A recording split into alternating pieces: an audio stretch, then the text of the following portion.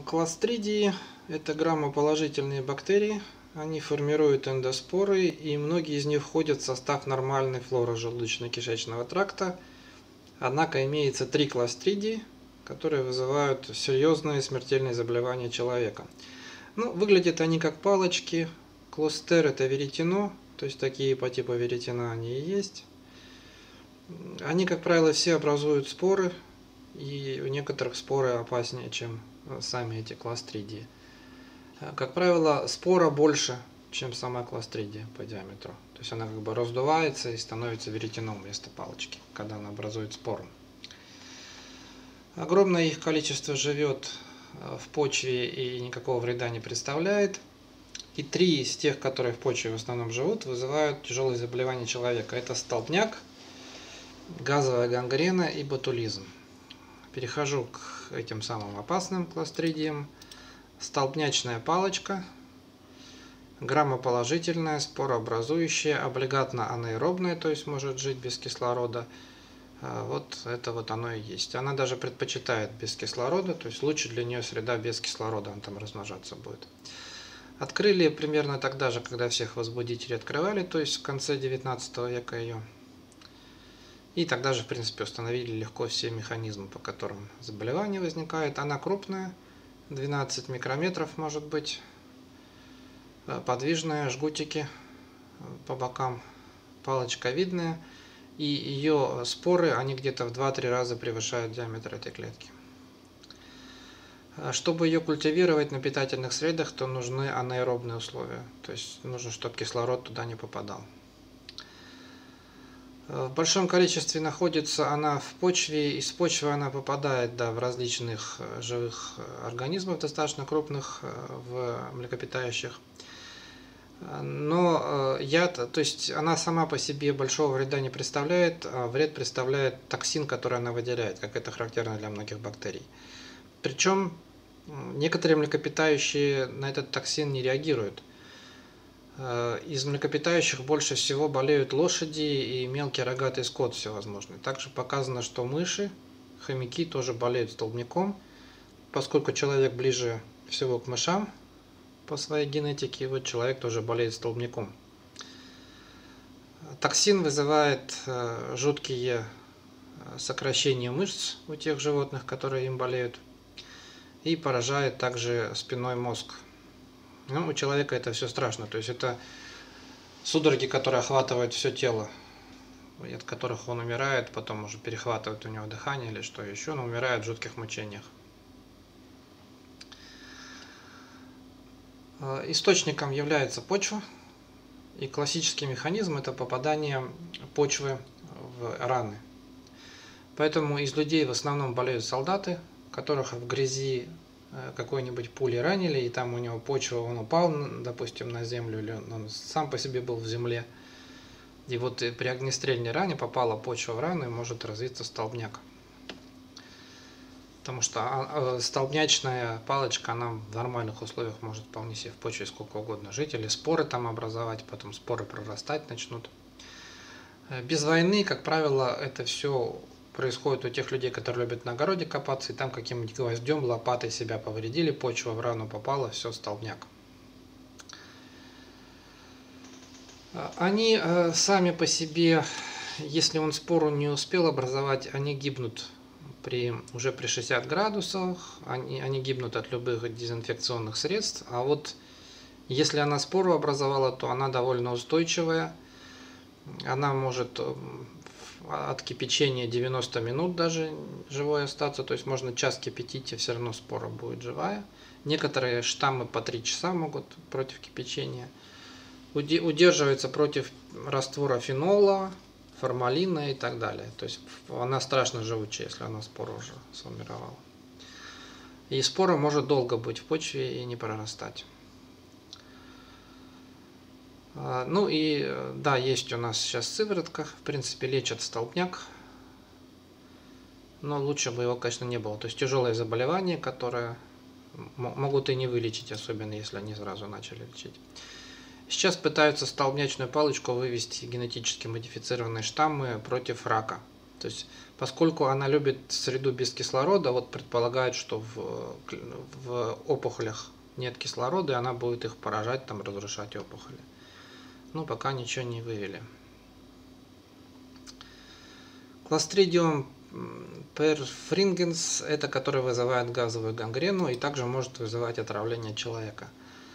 Это чуть поменьше палочка, 8 микрометров максимум, э, с овальными спорами.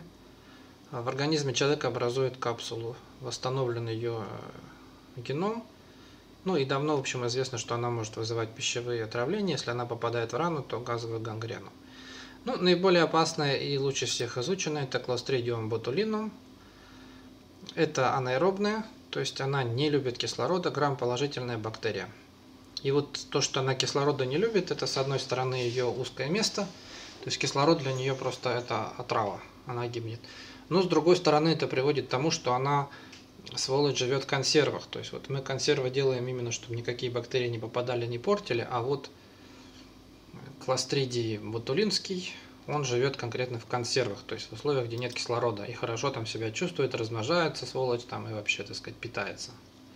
И токсин свой производит. Их впервые обнаружили в копченой колбасе. Кстати, да, они могут быть в копченой колбасе, копченой рыбе. И тогда же, значит, обнаружили, что через прожарку кислоты частично токсин разлагается, при хорошей прожарке разлагается полностью. И длительно это все исследовали как яд. Называли это все колбасный яд, жирный яд и так далее. Доказали, что э, возбудитель ботулизма имеется, что это бактерии, только где-то вот в самом конце уже 19 века, в начале 20 века. В связи с этим заболевание называлось ботулизм, то есть колбасная болезнь. И это перешло на саму вот эту бактерию, которую тоже стали называть возбудителем ботулизма. А, ну, современные какие представления, что она постоянно обитает в почве, может быть в любой земле – и довольно часто. Они могут быть в иле, на дне водоемов, они могут от них болеть рыбы, в рыбах они могут тоже быть с самого начала. Почему в копченой рыбе он может быть? Там она может быть больная рыба с самого начала ботулизма. Э, она любит теплую сравнительно почву. Если она попадает в человека из почвы, то, как правило, она там не выживает в человеке. То есть сама по себе бактерия, если просто в человека попала, она умирает, потому что Э, она не любит кислорода. Э, в принципе, может развиться ботулизм в ране, не так часто, как столбняк, и вообще говоря, редко, но вот в ране, если есть анаэробные условия, то есть попала почва в рану, а затем рана затянулась, и там нет кислорода. Вот там может быть ботулизм именно в ране. И она тогда начнет там производить токсин, и человек от токсина опять же. То есть не от самой этой бактерии, как и в случае со столбнячной палочкой, а от токсина, который она производит. В принципе, они не очень большие, до 9 микрометров. Ну и походят на все обычные эти кластридии, то есть они такие, как веретено. Подвижные, граммоположительные. Строгие анаэробы, как я уже говорил неоднократно. Э, токсинов, к сожалению, 7 вариантов. А, Б, С, Д, Е, Ф, Г и так далее. Подтипы С1 и С2. То есть основной фактор, который поражает человека, это яд, который она производит. Против яда у нас есть сыворотка, но поскольку 7 типов яда, то конкретная сыворотка может и не помочь, потому что нужен конкретно сыворотка от этого типа яда. Четыре типа ботулотоксина человек чувствительный. Животное может быть нечувствительно к ботулотоксину. Зависит от устройства этого животного. Человек э, к четырем типам чувствителен. Сами они не размножаются, Э, в человеке, как уже говорил, и не производят токсина. Они э, размножаются в консервах, вот в тех условиях, где нет кислорода. Вот если она попала из почвы, она там, даже если спора попала, споры прорастают и продуцируют токсин. Вероятно, для того, чтобы поубивать всех бактерий вокруг, или там не знаю для чего, или может быть она это считает нормальным, так сказать, каким-то продуктом своей деятельности, но человек от нее умирает. Ботулотоксин очень сильнодействующий, то есть небольшая доза этого токсина может убить человека, поэтому он может использоваться как биологическое оружие. И это активно разрабатывается, эти перспективы. То есть э, такие яд, который, собственно, в маленькой дозе может всех поубивать, он перспективен как оружие. принципе, ботулотоксин – это самый сильнодействующий яд для человека. Споры очень устойчивые, выдерживают кипячение 6 часов, э, выдерживают соляную кислоту в течение часа и так далее. Токсин, ботулотоксин разрушается при кипячении около получаса. То есть, если консервы варить около получаса, то ботулизм там точно разрушится, если он там есть. Но обычно по полчаса у нас никто ничего не варит. Или прожаривать копченую рыбу или копченую колбасу вот именно полчаса, чтобы точно токсин умер, потому что даже маленькая его доза может угробить. Э, ботокс – это препарат с использованием ботулотоксина. Тут известные все вот эти релатокс, диспорт и так далее. То есть используют его в медицине и косметике. Почему? Потому что основной механизм действия, что он вырубает полностью нейромедиаторы и расслабляет мышцу. То есть э, к мышце поступают сигналы, чтобы она сократилась откуда-нибудь, от спинного ли мозга, головного, она не сокращается, потому что само средство поступления сигналов вырубается токсином приводит в результате к угнетению любого значит, выброса нейромедиаторов в нервных окончаниях. Это что означает? Что расслабляется мышца. То есть, допустим, ботулотоксин можно использовать при спазмах.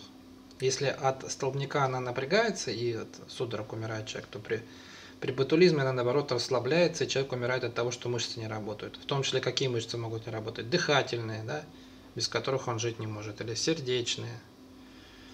Поэтому может умереть. В то же время ботокс вот в маленьких совсем микродозах могут использовать для лечения спазмов.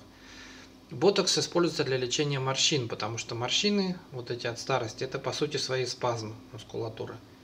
Если туда ботокса добавить, то морщины расслабятся, а, мышцы все расслабятся, не будет видно. Но это только вот внешне не будет видно, что морщины, старение он не останавливает, и более того, он вреден для здоровья, это вообще-то яд. Ботокс. Инкубационный период от нескольких часов и до 10 дней может быть. Первоначально организм реагирует как на яд, тошнота, рвота, понос, а потом начинается поражение нервных центров. Вот за счет расслабления, двоения в глазах расслабляются, допустим, вот эти мышцы, которые глазами управляют. Глотать не может, говорить не может, потому что это все напряжение. Смерть обычно от паралича дыхания, то есть дыхательные мышцы расслабляются, без которых жить не может, и он умирает. Может сердце остановиться тоже. То есть до, до сердечной мышцы дошло, она не работает, не сокращается, умирает человек. Основные средства профилактики. Вот консервы, которые промышленные, в общем, их там в автоклавах при 120 градусах э, греют, там должны погибать эти споры и яд. Поэтому в основном считается, что можно э, ботулотоксином от продуктов домашнего приготовления заболеть. Что убивает либо спору, либо сам токсин? Присутствие кислорода. Поэтому консервы, которые вот в открытых ведрах, в открытых бочках, и там есть кислород, там, значит, не могут быть эти все. Ботулизм не может он размножаться и так далее. Убивает кипячение, как я уже говорил, на полчаса кипячения. То есть надо довольно долго надо. Или жарить по 15 минут с каждой стороны копченой рыбы, допустим. А, естественно, поскольку он из земли попадает, то мытье продуктов всяческое тщательное помогает от ботулизма.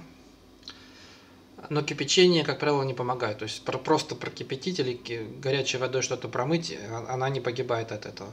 Но вот э, если вымыть, то там просто меньше ее будет, меньше земли, на которой она находится, бактерия. То есть вымыть лучше.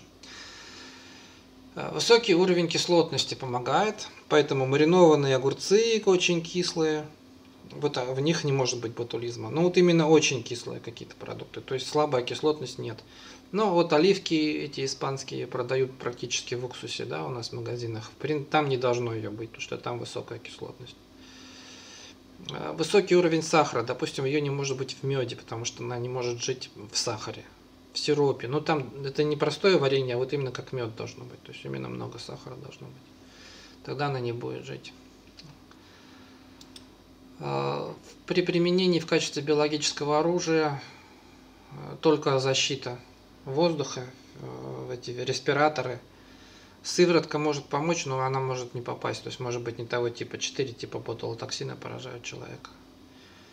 То есть на, на самом деле это, четких нет пока средств борьбы с ботулотоксином, если начнут применять именно вот как оружие.